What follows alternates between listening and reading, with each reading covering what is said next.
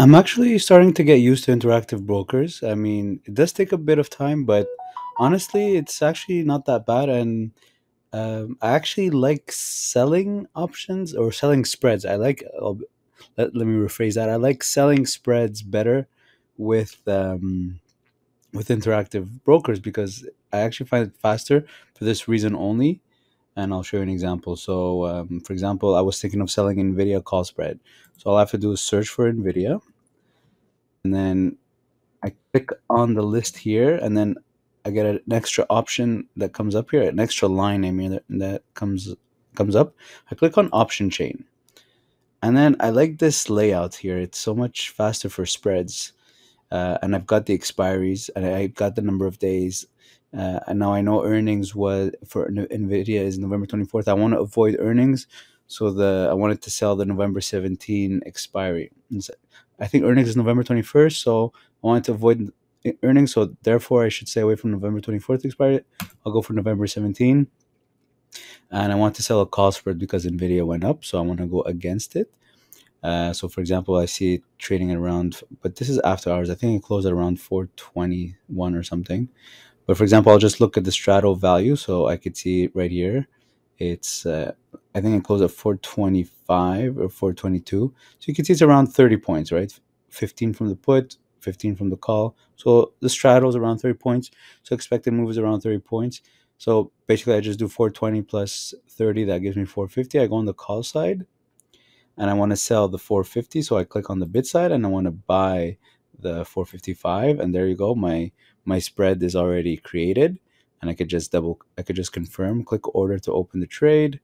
And I just put my minus one over here. I got used to putting minus one and therefore it shows me a credit. I can make sure double check with the individual legs. So sell 450, buy 455. I'm good. Submit by order, and that's it. That's it's um, that's how much time it takes me to sell a call spread with interactive brokers right now. So I've been selling, and I could just by can to cancel it, I could just double, I could just re-click on what I already clicked on. So I've been selling uh, spreads here. I've closed a bunch right now. What I've got, I've got a Tesla bull spread or Tesla put spread at 175, 170. I'd open for a dollar right now. It's actually worth 60, so it's $30 profit. I could pro- actually $40 profit. Uh, I've got a Tesla, another put spread at 190, 185. This one is not so profitable because Tesla dropped a lot after I opened this trade. I've got a Netflix call spread that I opened today for a dollar. It was showing a bit of profit today, but didn't close it. Right now, it's showing $5 profit. And what I like ab- about uh, the interface, uh, this is the browser. So I prefer using the browser so I can access it from any computer. I don't want to install the the, uh, the the desktop application. What I like also is I finally understood the cash here, cash holding. So it shows me I've got. Tw- I initially I had transferred five thousand Canadian only, didn't convert anything, but because I've been selling options in US, so my cash, you my US cash line is going up.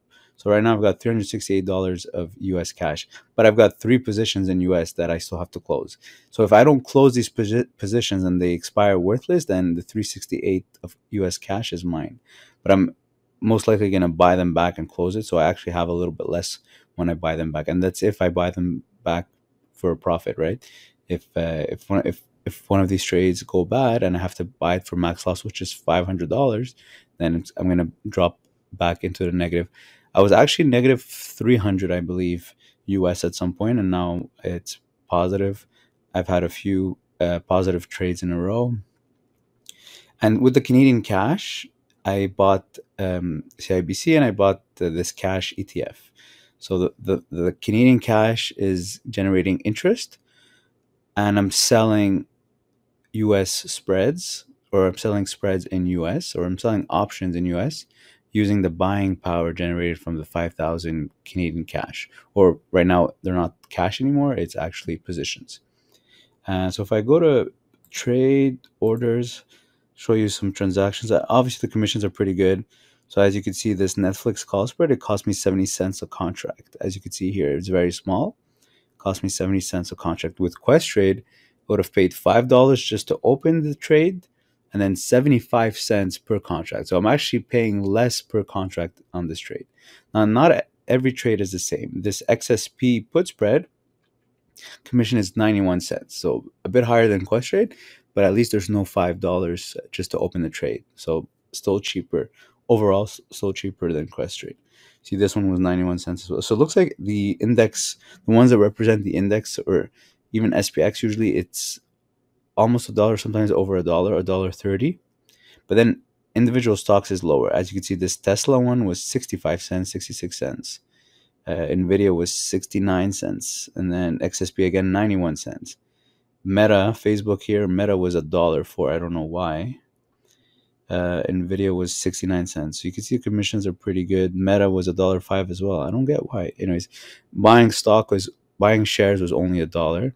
So commissions is way better, especially for one contract trades. If you're doing 10 contracts, then maybe Questrade might be better, easier interface, much easier interface for sure. But yeah, for now, I'm uh, I'm actually enjoying it. It's not too bad, and I'm starting to understand this as well. So the C is the previous close. Wherever you see a C, that's previous close. Cost basis is how much, of course, we entered the trade. Market value is what it's trading right now. So you can see cost basis minus 98. So I collected a dollar, and this is after commission. So it already removed the commissions from my cost basis. So that's good. So minus 98, market value right now is 60. So if I close it right now, I make a profit. Unrealized PNL right now is plus 38. Now this is the daily PNL. This is how much it moved today in terms of the PNL, but the overall PNL is unrealized PNL. So actually, I don't really need daily PNL. I don't care about it. Uh, so let's look, let's click on these three dots here. Oh, there you go. It's got edit column. So for sure that's going to help me remove uh, daily PNL. I don't need it. There we go. So save I go back, no more daily PNL. Pretty good. Average price. Do I need average price? I don't know what average price is. So this is last. This is cost basis. Market value. Okay. An average price. What is average price? How much I paid to get in? I'm not sure what average price is. 51. I guess average price is what it's trading for right now. Yeah. Yeah, average price is what it's trading for right now and market value is the total is total value of your position. Uh, fifty dollars, yeah, makes sense. Last fifty six, what? No, I don't even know what average price is. Average price is what you paid. Yeah, average pr- price is what you paid, plus commissions. Okay, but why is this ninety nine? This one's eighty four. Yeah, I don't get it. Um, I don't know if I should keep average price. I already have cost basis. I don't really need average price. Well, yeah, I've got cost basis here. It's good for shares because this shows you how much I paid to get into the trade. Although with plus commission, yeah, I guess I can keep average price. Let's see if there's anything else interesting here under edit columns. Um, instrument selected columns. Okay, search all columns. ESG, social set option exercise, dividends. Uh, yeah, I don't know. I don't, I don't think I need. Oh, that might be interesting. Implied volatility. Yeah, anyways, I don't care really. It doesn't. Uh, it's not going to add value to me. So yeah, I'll leave it as is. And as I go, if there's if I feel there's a column that I need, I'll just go add it. But yeah, overall, it's uh, I'm enjoying it, especially since I I mostly uh, trade one contract spreads. So it makes a big difference with commissions. So yeah, if you have any questions, leave in the comment section below. And like always, if you want to check out Interactive Brokers, I've got a referral link in the description below the video. Thanks for watching.